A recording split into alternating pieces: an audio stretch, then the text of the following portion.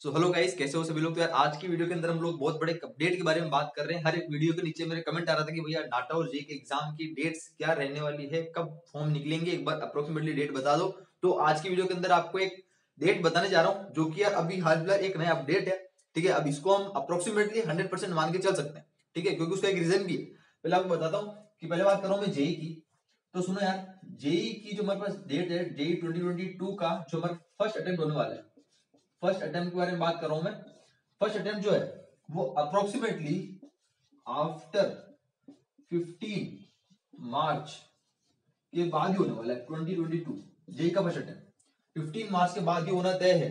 इसका रीजन क्या है? इससे पहले अपन, इसका रीजन सुनने से पहले मैं आपको बताता हूँ लास्ट ईयर क्या कंडीशन थी। सुनो, हमेशा ध्यान रखना कि जेई का जब एग्ज़ाम होता है फ़र्स्ट अटेम्प्ट का कोई से भी अटेम्प्ट का एग्ज़ाम हो, एक ऑफिशियल अपडेट निकलता है। उस पूरा शेड्यूल तैयार होने से पूरे, पूरा शेड्यूल का अपडेट आने से पहले, आपको दो महीने पहले जेई को बताना पड़ता है, क्योंकि इसके अंदर रजिस्ट्रेशन प्रोसेस होता है, उसके बाद सभी के एडमिट कार्ड बनते हैं, वो एडमिट कार्ड रिलीज़ होता है तो पूरे प्रोसेस करने में अप्रोक्सीमेटली दो महीने का टाइम चाहिए होता है।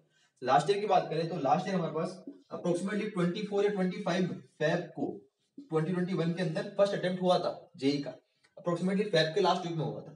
और जो उसका ऑफिशियल अनाउंसमेंट था, वो दिसंबर में ही हो गया था। ठीक है? वो दिसंबर में ही हो गया था ट्वेंटी ट्वेंटी के अंदर दिसंबर लास्ट वीक के अंदर।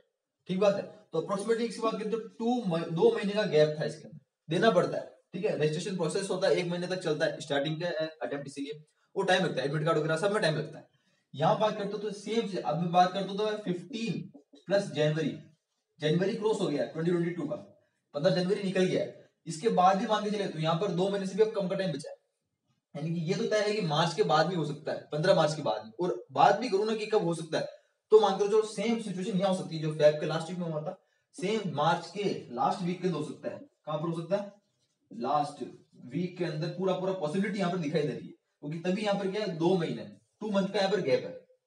पूरी तरह से पॉसिबिलिटी है, एक अपडेट ही इसको के चल सकते हो आप कि ये पॉसिबिलिटी यानी कि हम बात करें मोटा मोटा कितने दिन हमारे पास बचे हैं? तो दो महीने के अंदर कितना हो गया? सिक्सटी डेज़ यानी कि अप्रोक्सीमेटली हमारे पास सिक्सटी डेज़ बाकी हैं। और सिक्सटी डेज़ बहुत होते हैं। लिमिटेड टाइम है एक अच्छा खासा स्कोर करने के लिए अच्छा खासा कॉलेज के अंदर एंट्री मारने के लिए। सबसे पहले एक चीज़ बोलना चाहूँगा आपको कि अपने दिमाग में से एक चीज़ हमको निकाल देनी है कि इसके बाद कोई अटेम्प्ट होगा या नहीं होगा होगा तो बहुत ही बढ़िया, हम चाहते हैं हो पर लेकिन पूरा फोकस जो है ना हमारा, पूरा जी जान से इसके अंदर लगा दो बस। साठ दिन है आपके पास। बस एक चीज़ मान के चलो, अपने दीवार पर चिपका दो, जहाँ पढ़ते हो उसके सामने लिख दो कि मेरे पास साठ दिन है बस। जो करना है मुझे साठ दिन में ही करना है। नेक्स्ट अटेम्प्ट होगा या नहीं होगा, वो बात की बात है। पहले इस साठ दिन के ऊपर पूरा पूरा फोकस करेंगे। आपके पास यार बात करूँ, हर एक चैप्टर की इंडिविजुअल मैथमेटिक्स की पूरी शॉर्ट नोट्स की आपके पास पूरी प्लेलिस्ट का लिंक मैंने आपको नीचे दे रखा है, जिसके अंदर हैंड शॉर्ट नोट्स आपने डाउनलोड कर लिए होंगे वहाँ से, पूरी प्लेलिस्ट आपको नीचे मिल जाएगी, हर चीज़ की। ठीक है? पूरा आप मैंने पूरा नोट्स प्रोवाइड कर रहा है। और बाकी जितनी भी लास्ट टू मंथ की वन मंथ की स्ट्रेटेजी है एप्टीट्यूड के ऊपर मैथमेटिक्स के ऊपर कौन कौन से इंपोर्टेंट चैप्टर्स वगैरह, सबकी वीडियोस का लिंक मैंने आपको नीचे दे रखा लाइन वाइज वो सब आपको मिल जाएगा वहाँ ठीक है? तो ज़रूर आपको जाकर वहाँ से चेक करना है। और स्टार्ट हो जाओ, अगर आपने स्टार्ट नहीं किया अभी तक। साठ दिन के अंदर अच्छा खासा हम कर सकते हैं। प्रॉपर स्ट्रेटेजी के साथ चला जाए तो।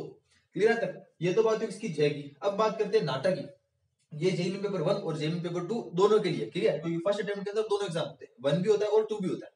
अब बात करते हैं इसकी नाटक की। तो देखो नाटक के अंदर तो मैं आपको पहले बोल चुका था कि नाटक का जो फ़र्स्ट अटेम्प्ट होता है, वो अप्रोक्सीमेटली अप्रैल के अंदर ही होता है। क्योंकि लास्ट ईयर भी हुआ था बिफोर लास्ट ईयर भी यही होता हम अगर इसको मार्च में मान सकते हैं कि मार्च के अंदर भी हो सकता है, पर लेकिन मार्च के अंदर भी इसकी पॉसिबिलिटी अब थोड़ी कम दिखाई दे रही है। अब कम क्यों है? क्योंकि मार्च के अंदर हमारे पास क्या है? जेई का एग्ज़ाम आ गया। और जेई का एग्ज़ाम और ये एग्ज़ाम कभी से आसपास नहीं होता। थोड़ा सा गैप होता है इनके अंदर। ठीक है? क्योंकि कोई अगर स्टूडेंट इसकी तैयारी कर रहा है तो यार वो एकदम साथ साथ के अंदर साइमल्टेनियस इसकी एकदम एग्ज़ाम्स के आसपास तैयारी नहीं कर सकता। थोड़ा बहुत तो गैप होता ही है। ठीक है? और अगर इसका फ़र्स्ट अटेम्प्ट मार्च के अंदर भी हो रहा होता नाटक का तो अब तक कुछ ना कुछ तो अपडेट निकल कर आता। कुछ ना कुछ तो हलचल होती है ऑफिशियल वेबसाइट के ऊपर।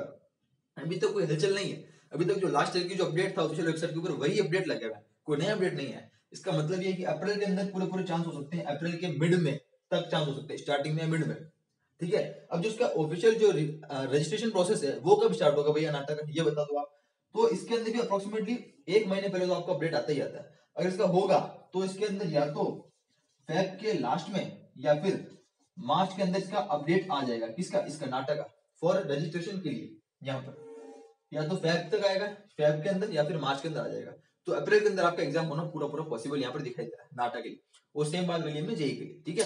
तो हमारे पास बात करते हैं, इसके लिए बात करें तो यहाँ पर हमारे अप्रोक्सीमेटली नाइनटी डेज़ बाकी है, क्योंकि तीन महीने हैं, ठीक है? आधा जनवरी बचा है, फिर फेब मार्च, ठीक है? तो आधा अप्रैल भी अगर के चलते हैं तो तीन महीने अप्रोक्सीमेटली नाइनटी डेज़ है। तो यार ये नाइनटी डेज़ तो मतलब समझ लो इससे भी ज़्यादा है तो यानी कि इसके अंदर तो आप उखाड़ सकते हो, इसमें तो उखाड़ ही सकते हो साथ साथ के अंदर इसके अंदर तो उखाड़ फाड़ सब सकते हो आप। कुछ भी कर सकते हो, ठीक है? तो इसी शायद ये अपडेट आपको देना था। हर चीज़, इसके अंदर भी आपको जो भी है, हमारे पास जितनी भी वीडियो जब तक आई है, सभी के प्लेलिस्ट का लिंक आपको नीचे मिल जाएगा। और लास्ट टू मंथ की क्या स्ट्रेटेजी रहने वाली है क्या क्या चीज़ हमको पढ़नी क्या क्या सिलेबस रहने वाला सिलेबस की दोनों की वीडियोस आपको लिंक नीचे मिल जाएगा। तो जो अगर आपको देखना है और चैनल को सब्सक्राइब ज़रूर से कर देना, ठीक है?